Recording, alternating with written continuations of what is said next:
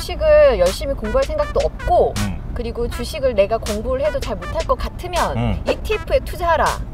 좋아요. 구독 눌러주세요. 눌러주세요.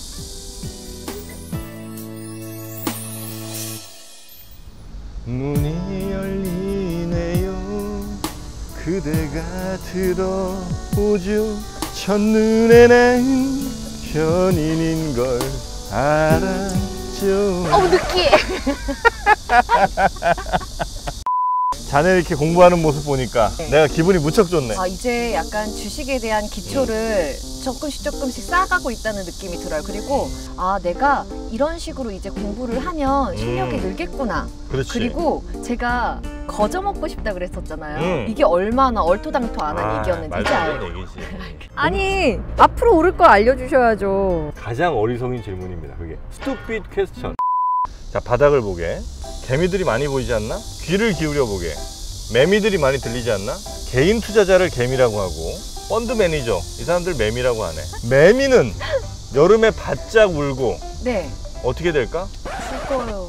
죽으면 누가 먹지? 개미요. 개미가 먹는단 말이야. 우리 개미가 매미를 먹을 날이 멀지 않았다는 거야. 아 지금 신나게 울으라 그래. 매미 끝이야. 자, 근데 이기려면 그래도 뭘 좀 알아야 이기지. 네. 오늘은 EDF라고 하나, EDF? 난 그런 거 몰라요. 그거 그때 저 얼마나 창피했는지 몰라요. ETF? ETF. ETF는 말이지. 네. 저 사람이 알려줄 것들. 반갑습니다. 저는 미래세대우 글로벌 주식 컨설팅 팀에서 네. ETF 그리고 미국 배당 주식 담당하고 있는 윤재홍 매니저라고 합니다. 네. 반갑습니다. 그러니까 한마디로 이분들이 이제 매미야. 매미 끝이야. 일단 그 ETF 들어가기 전에 방송 쭉 이렇게 보다 보면 제일 많이 올라오는 질문 중에 하나가 공매도 얘기를 많이 합니다. 공매도. 뭡니까 정확하게? 잠깐 좀 예시를 들어서 네. 오늘 제가 좀 말씀을 드릴 텐데 제가 준비물을 좀 준비를 해왔어요. 아 나 또 좋아. 자 그러면 이제 세 명이 있는데 네. 이분이 투자자, 아 제가 일반, 투자자. 예, 일반 투자자. 네. 저는 주식을 가지고 있는 사람 그리고 우리 사부님은 공매도 투자자. 제가 공매도 투자자. 네. 자, 그러면 제가 아이패드를 가지고 있는데 여기 10만 원이에요. 근데 사부께 생각하실 때 어, 저 아이패드 5만 원까지 떨어질 것 같다. 어. 라고 생각을 하는 거죠. 그러면 사부가 어떻게 하냐? 저한테서 어, 너 아이패드 좀 나한테 빌려주라 응. 하는 거. 아이패드 아이패드를 빌려줘? 빌려 가서 네. 이렇게 개미한테 이렇게 팝니다. 그러면은 10만 원 내놔. 개미는 아 나는 나는 10만 원 줄 생각이 없는데. 자, 아, 10만 원이 넘어갔어. 이러면은 네. 이거 자체가 이제 공매도가 되는 거죠. 자, 근데 나중에 조금 시간이 지나고 나니까 아이패드가 5만 원이 됐다. 네. 그러면은 사부는 10만 원 중에 5만 원은 이제 숨기고 네. 이 5만 원으로 시장에서 아이패드를 이렇게 사오는 거죠. 나 5만 원만 남았어. 그리고 저한테는 다시 아이패드를 아이패드를 돌려줘. 갚고. 그럼 난 5만 원이 생겼고. 자, 자, 어떻게 되냐? 그러면은 투자자는 10만 원 있다가 5만 원으로 줄었고요. 음. 저는 아이패드는 그대로 저한테 있어. 그리고 공매도 네. 투자자는 네. 5만 원을 번 거죠. 나만 손해네. 그렇죠. 자, 그럼 반대로 아이패드 가격이 올랐어요. 아, 난 떨어질 거라 생각하고. 떨어질 거라 생각하고 공매도를 했는데. 네. 쳤는데 아이패드 가격이 15만 원이 됐습니다. 그러면은 사부가 이 아이패드를 저한테 다시 돌려주려면은 아까 10만 원 받고 판 거를 이제 나중에 아, 15만 원을 15만 주고 내가 갚아야 되는. 거죠. 그러면은 은행에서 5만 원 빌려서 그러면은 이제 저는 그냥 iPad 그대로 가지고 있고 투자자는 어쨌거나 이 iPad 가지고 있는 상태에서 15만 원 올랐으니까 음. 5만 원 수익 그리고 우리 사부는 5만 원 손해 가격이 기본적으로 내릴 때 하는 게 공매도 투자자라는 거. 자, 이건 제가 그럼 수업료로 다시 회수를 자, 그럼 오늘 ETF. 네. ETF가 뭐의 약자죠? Exchange Traded Fund 펀드를 주식시장에 상장시켜 가지고 음. 주식처럼 이렇게 사고 파는 네. 그런 것들을 ETF라고 얘기를 하고요. 제가 좀 교보제를 조금 준비를 해봤어요. 이렇게 삼성전자 30%, SK하이닉스 5%, 네이버 4%, 셀트리온 3% 이런 식으로 들어있는 이 펀드 덩어리를 이렇게 이렇게, 어. 이렇게 쪼개서 이게 네. 주식처럼 이렇게 한 주씩 사고 파는 거를 네. ETF다라고 얘기를 해주시면 아. 아주 설명을 쉽게 잘해주세요. 아, 이해됐어요? 네네. ETF들도 보시게 되면은 일정한 좀 규칙들이 있어요. 자, 보시게 되면은 기본적으로 맨 앞에 운용사 이름이 나오게 되고 추종하는 자산, 우리가 투자하는 대상이고 마지막에는 뭐 전략 혹은 뭐 기타 등등 이런 것들이 나오게 됩니다. 이름에 이게 다 있다는 거죠? 네, 이름 내 거의 다 나와 있어요. 예를 들면 예를 들어서 TIGER China CSI 300 레버리지 합성이다. 보시게 되면 TIGER는 미래에셋 자산 운용, 네. 운용사고, 그다음에 China CSI 300은 어떤 지수를 추종하냐? 중국 CSI 300이라는 지수를 추종을 하고 있다는 거죠. 음. 그리고 마지막으로 여기는 레버리지는 일반 수익률의 두 배가 움직인다. 네. 다시 말해서 CSI 300이 1% 올라가면은 얘는 2% 올라가고 어. 얘가 1% 떨어지면은 얘는 2% 떨어지고 오, 이런 식으로 되는 거죠. 약간 뭐지 위험성이 좀더 높아. 높아지는 거죠. 예. 그러면은 미래에셋 자산 운용에서 운영하는 모든 ETF는 타이거가 붙어요 앞에. 그렇죠. 그래서 이름별로 보시게 되면은 앞에 KODEX가 붙어 있으면은 삼성 자산 운용, 아, 그거구나. 어, 타이거가 붙어 있으면은 미래에셋 자산 운용 이런 식으로 되어 있는 거. 미국도 마찬가지고요. 여기 FAS라는 ETF는 Direxion Daily Financial Bull Triple Share ETF예요. 보시게 되면은 여기는 Direxion은 운용사입니다. 네. 뭐 미국의 뭐 3배짜리 이런 것들 레버리지 ETF를 굉장히 많이 운용하는 네, 네, 네, 네. 운용사예요. 그리고 Financial 금융 섹터를 추종을 한다라는 거고요. 음. 그다음에 Bull Triple 요거는 Bull은 그쵸 곱하기 세배인데 음. 보통 이제 증시에서 얘기할 때 Bull은 황소 위로 올라가는 거고요. 음. 그다음에 배요. 곰은 떨어질 때 얘기. 오. 그래서 요거를 다시 정리를 해보면은 Direxion에서 운용하는 운용사인데 금융 섹터를 추종을 하고 있고 얘는 위로 세배짜리다. 다시 말해서 금융 섹터가 1%가 올라가면은 얘는 3%. 3%가 올라가고 1%가 빠지면은 얘는 3%가 빠질 때 근데 ETF, 네. ETF가 언제 시작된 거예요?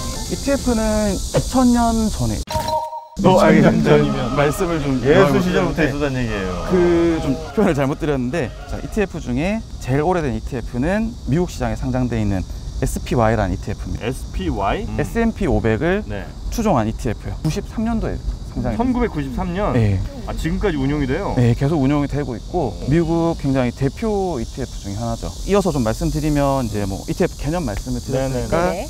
좀 이제 우리가 관심을 가져볼 만한 왜 이제 ETF가 어떤 장점이 있는지 음. 조금 같이 말씀을 드릴게요. 컴팩트하게 부탁드리겠습니다. 네, 첫 번째는 분산 투자가 굉장히 싸게 됩니다. 우리가 코스피 100을 주식을 담아서 하려면은 네. 한 13억 정도 돈이 필요해요.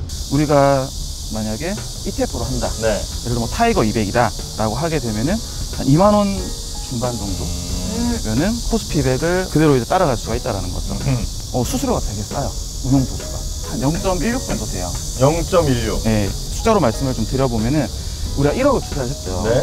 그러면은 우리가 ETF로 투자를 하게 되면은 1년에 16만 원만 비용을 내면 되는데 네. 펀드로 투자를 하게 되면은 92만 원을 음. 보수로 내야 되는 거죠. 그리고 좀 세 번째는 굉장히 좀 다양합니다. 지금 5월 20자 기준으로 한 2,300개 정도 네. 네. ETF가 상장이 되어 있고요. 그다음에 마지막으로는 유동성. 요거는 아마 해외 펀드 해보신 분들은 좀 공감을 많이 하실 수도 있는데 해외 펀드 같은 경우는 환매 신청을 하게 되면은 아. 한 5거래일 정도 기준가를 잡아서 뭐 한 7일 정도 있다가 돈이 들어온다거나 우리가 ETF로 하게 되면은 그냥 시장에서 팔면은 바로 수익 주식처럼. 하고 2, 3일 뒤면은 돈까지 바로 들어와 버리는 그런 효과가 있는 거죠. ETF 고르는 법 좀 알려주세요. 고르는 법. 어떻게 고릅니까? 우선 이제 ETF 어떤 것들이 있는지 일단 먼저 네. 알아보면은 네. 어, 저 같은 경우는 여기 이제 ETFDB.com이라는 네. 사이트를 좀 참조를 많이 하고 있어요. ETFDB.com. ETF를 종류별로 찾을 수 있는 이제 스크리너가 있고요. 뭐 예를 들면은 주식 같은 경우는 여기 에코티 쪽에서 ETF들이 이렇게 다 분류가 되어 있어요. 뭐 섹터라든가 뭐 지역이라든가 이런 것들. 아니 우리나라에도 ETF 많은데 왜 외국까지 가서 이거 해야 되는 거예요? 저 같은 경우는 이제 해외 ETF 위주로 좀 많이 하는 편인데 해외가 더 좋습니까? 상대적으로 저는 좀 더 편한 거죠. 왜냐하면 좀첫 번째로는 이런 이제 큰 ETF들이 되게 많아요. 하루 거래 대금이 20조가 넘다 보니까 제가 뭐 2, 3억 가지고 왔다 갔다 하고 한들 전혀 티가 안 나죠. 아 규모도 중요하구나. 일단 저 같은 경우 ETF들 볼 때 제일 먼저 보는 게 운용 자산이 어느 정도 되는지를 봐요. 뭐 미국 기준으로는 최소한 10억 달러 정도? 하나로 치면 한 1조 1조. 2천억 정도. 그 정도는 돼야지 ETF가 상장폐해 될 위험이 굉장히 낮아지는 거고요. 네네네. 두 번째로 보는 거는 ETF가 얼마나 컨셉에 잘 충실한가.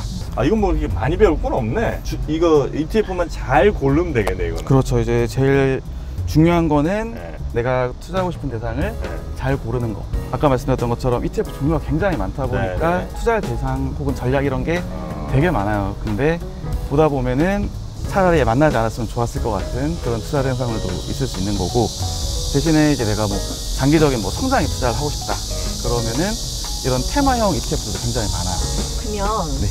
배당 배당처럼 이렇게 뭔가 돈이 나오는 거 없겠네요. ETF들도 분배금이라는 걸 줘요. 있어요 또? 어, 그렇죠. 왜냐면 ETF는 주식을 담고 있잖아요. 네네. 그러면은 주식이 어, 어, 어, 배당을 주게 그거를 홀랑 먹는 게 아니라 그걸 모아다가 배당으로 지급을 해드리는 거죠. 아, 그거는 어떻게 찾을 수 있어요? 어, 요건 뭐 운용사 같은 데서 다 조회가 가능한데 얼마씩 줬는지 그렇죠. 예를 들어서 타이거 ETF로 좀 설명을 드리게 되면은 상품별 자료 조회가 있고 여기 보시면 이제 분배금 현황이 아. 분배금 현황 있네. 음. 여기서 타이거, 타이거 200을 눌러보게 되면은 네.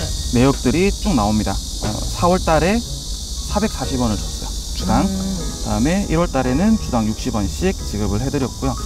어. 이런 식으로 이제 배당 분배금들을 지급해드렸던 내역들을 조회를 할 수가 있어요. 지금 만약에 내가 ETF를 한다면 어떤 ETF를 하고 싶은지 생각나는 대로 한번 좀 얘기를 해봐요. 전기차. 전기차 있어요? 이-? 전기차, 예, 전기차 ETF 있습니다. 그러면은 자, 네이버 금융 들어와서 국내 증시 ETF. 예, ETF로 들어오게 되면은 여기서 전기차라는 거는 어떤 특정 지수라기보다는 테마다 보니까 음. 국내 업종 테마에 들어오는 거죠. 네.